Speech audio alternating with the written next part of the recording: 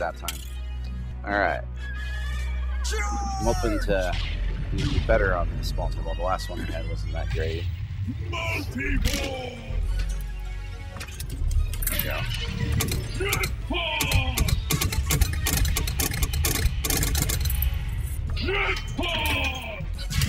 Ah, lost that one right away. Okay, I got it back good.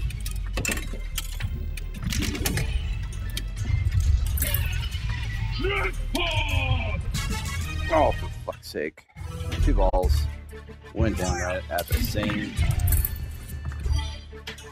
I love it when that happens. And then, Yeah. uh, then we got to move some furniture uh, out of the main part of the house into the basement to make room for uh, us organizing the upstairs too. Yeah. Right, right now, it's so crowded that you can't put anything anywhere to, to actually organize it. So- Yeah. And I got on the board. All right, number four. Good place to start. I just got a comment there.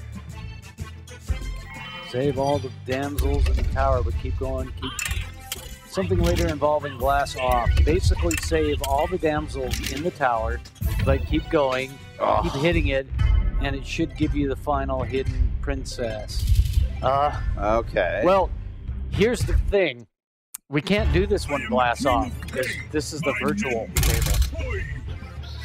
I don't, he well, wait a was- minute, wait a minute. He was asking us to go and manually hit it. Manually hit it? Manually tr- do this trigger. Oh, Yeah. oh. well, we could we could because we have the the uh, what do you call it? You know, the thing that allows you to tilt on here. No, no, he was wanting. Yeah, no, he he was uh he was talking about hitting the damsel a bunch of times, which is triggering switches. We can't trigger switches on the virtual game. Why not? I thought we trigger switches all the time when we hit things. What are you talking about?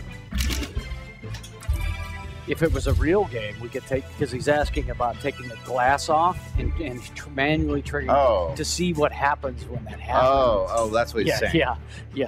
So we can't quite Oh. do that. but yeah, I, yeah, I mean, I wish we could. yeah, it does look. Oh, he thought it was real. He thought it was real.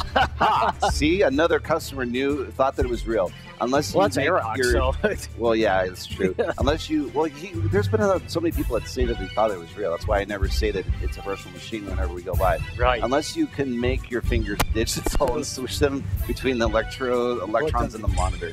Yeah. Um, well, but the, yeah, since it's not a touchscreen monitor, that wouldn't even actually really work because it's all software. So, uh, man, we'd have to you'd have to like become Tron and enter the computer.